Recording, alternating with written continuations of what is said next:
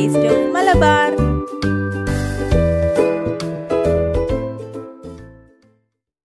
hi friends ഇന്ന് ഞാൻ വന്നിരിക്കുന്നത് വൺ കെ ജി വെയിറ്റ് വരുന്ന വൈറ്റ് ഫോറസ്റ്റ് കേക്കിന്റെ ഡെക്കറേഷൻ വീഡിയോ ആയിട്ടാണ് ഇതിന്റെ സ്പഞ്ചിന്റെ റെസിപ്പി ഞാനിതിൽ ഉൾപ്പെടുത്തിയിട്ടില്ല.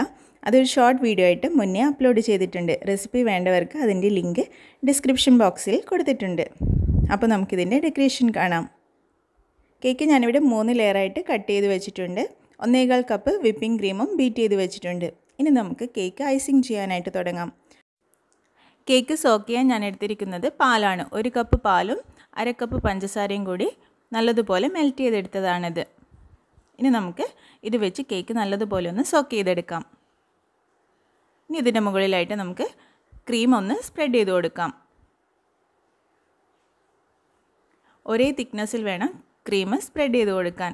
ഇനി ഇതിന്റെ ഫില്ലിംഗ് ആയിട്ട് വൈറ്റ് ചോക്ലേറ്റ് ഗ്രേറ്റ് ചെയ്തത് ഇട്ട് കൊടുക്കാം. അതിന്റെ മുകളിൽ കുറച്ച് ചെറി കൂടെ ഇട്ട് കൊടുക്കാം. ഇനി നമുക്ക് സെക്കൻഡ് ലെയറും ഇതുപോലെ തന്നെ ചെയ്തെടുക്കാം.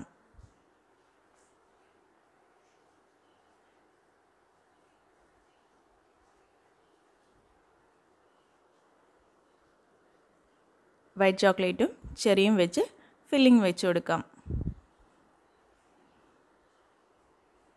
ഇനി നമുക്ക് മൂന്നാമത്തെ ലെയറും കൂടി വെച്ച് കൊടുക്കാം.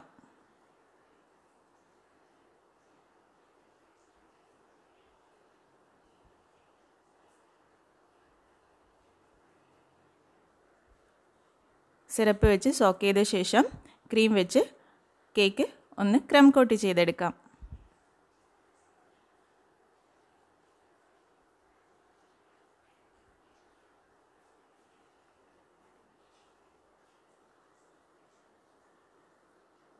ക്രം കോട്ട് ചെയ്ത ശേഷം കേക്ക് ഒരര മണിക്കൂറെങ്കിലും ഒന്ന് ഫ്രിഡ്ജിൽ വെച്ച് സെറ്റാക്കി എടുക്കണം. അങ്ങനെ ചെയ്തു കഴിഞ്ഞാൽ ഫൈനൽ കോട്ട് കൊടുക്കുന്ന സമയത്ത് ക്രംസ് ഒന്നും ക്രീമിലേക്ക് മിക്സ് ആവില്ല. ഇനി ബാക്കിയുള്ള ക്രീമിലേക്ക് നമുക്ക് റോയൽ ബ്ലൂ കളർ ചേർത്ത് കൊടുക്കാം. ഒരു മൂന്ന് ഡ്രോപ്പ് കളറാണ് ഞാൻ ചേർത്തിട്ടുള്ളത്.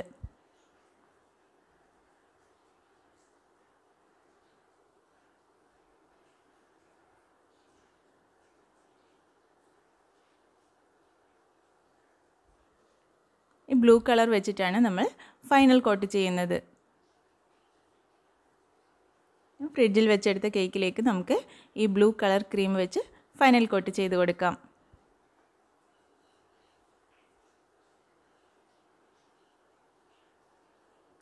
ആദ്യം ക്രീം മുകളിൽ ഒന്ന് സ്പ്രെഡ് ചെയ്ത ശേഷം കേക്കിന്റെ സൈഡിലേക്കും ഒരേപോലെ ആക്കി കൊടുക്കാം.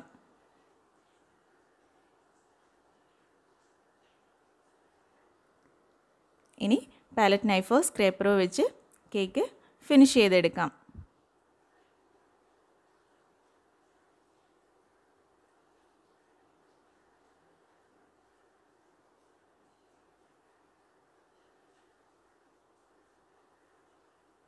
അങ്ങനെ ഇത് കേക്ക് ഫിനിഷ് ചെയ്തെടുത്തിട്ടുണ്ട്.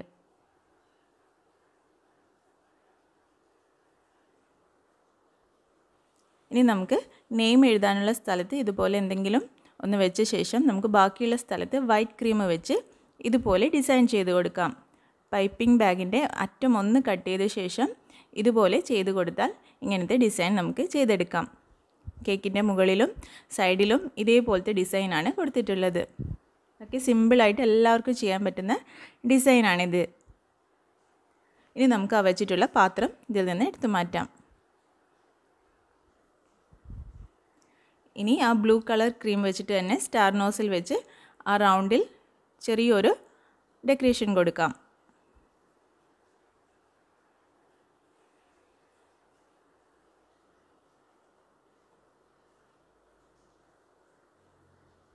ഇനി നമുക്ക് ഒരു മൂന്ന് ഫ്ലവർ കൂടെ വെച്ച് കൊടുക്കാം. മാജിക് കളേഴ്സിന്റെ പിങ്ക് കളർ ഒരു രണ്ട് ഡ്രോപ്പ് ക്രീമിൽ ഒന്ന് മിക്സ് ചെയ്ത ശേഷമാണ് ഈ ഫ്ലവർ ചെയ്ത് കൊടുക്കുന്നത്.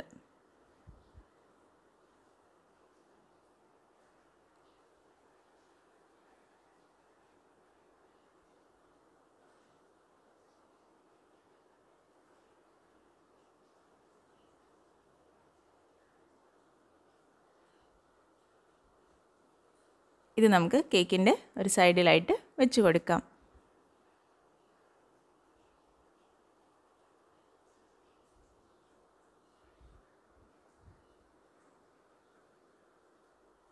ഇനി നമുക്കിതിൽ നെയിമും കൂടി എഴുതാം.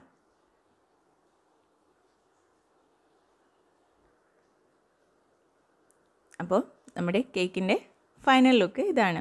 കേക്ക് ഇഷ്ടപ്പെട്ടാൽ അഭിപ്രായം പറയാൻ മറക്കല്ലേ? നിങ്ങൾക്ക് എന്റെ ചാനൽ ഇഷ്ടമാവുകയാണെങ്കിൽ please like share and subscribe. Thanks for watching